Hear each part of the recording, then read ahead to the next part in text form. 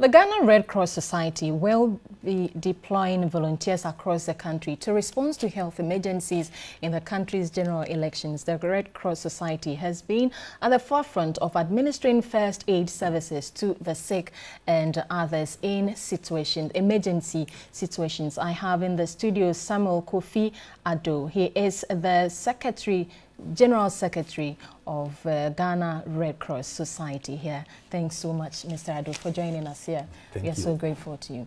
Is this the first time the Red Cross Society is embarking on such a project? No, but this time we are embarking on it in a massive scale because currently we have over 60,000 volunteers.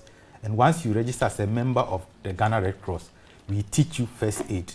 And we know that during the elections, all these 60,000 volunteers would be going to vote. So even whilst in the queue, they're equipped so that in case somebody out of exhaustion falls down, he knows how to administer CPR or how to resuscitate the person.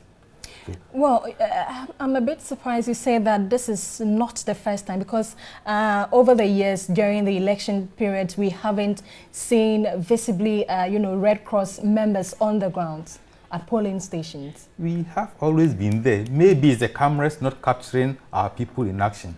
For example, for this particular elections, we have 6,000 people that we are training as part of our emergency response team. And we are going to equip them and they will be at the various flashpoints together with as part of the National Emergency Response Team to support in terms of giving first aid.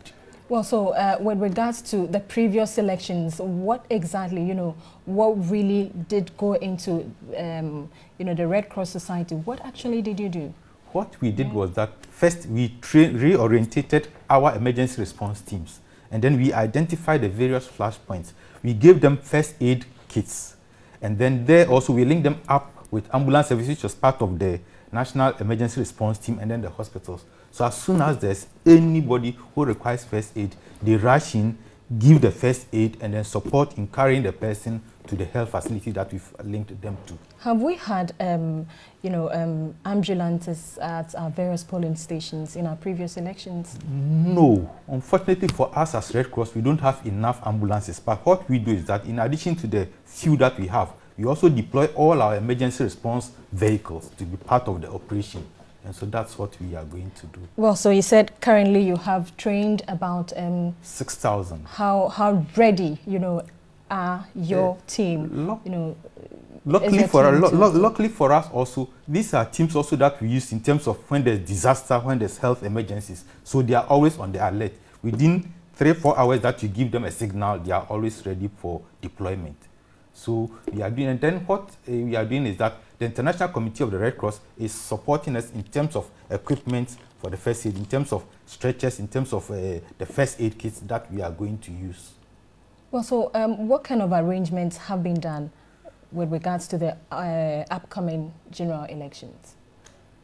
First, uh, as part of the National Emergency Response Team, we are seeing how we can synchronize our activities. So when at that forum, what we do is we link up when, Red, when there's a situation, Red Cross administers first aid, where we can transport the person, we transport the casualty to the nearest health facility, or we call in ambulance service. The police are also there in terms of maybe it being the cause of a rowdiness, then they create the space for us to administer the first aid. And so the team is poised, you know, for action. For action. And they've been trained to have that confidence because luckily for us, because of the emblem, because of also the reputation that we have, and because also of the principles and values that we hold. Because one, we are independent, we are neutral, we are not looking at you as to whether you belong to party A or party B. That's why you are wounded. Once you are wounded, you are wounded, and out of the principles and values that we have, we must attend to you. And I think people respect that principle, that value that we have, so they give us that room to operate. You said, finally, you said that it is going to be nationwide. How nationwide. resourced are you? We to embark on this uh, nationwide project? We are not well resourced, and that's why we are calling on corporate Ghana to come on board and join us. We just need simple things, first, simple first aid kits, which is bandages, plasters, things that simple first aid that we will need in terms of uh, giving support and assistance to people. Thank you very much for joining us here uh, to throw more light on this particular issue for us. I have been speaking uh, with uh, Samuel Kofi Addo, and he is the uh, Secretary General Ghana Red Cross Society. This is Midday Live. Let's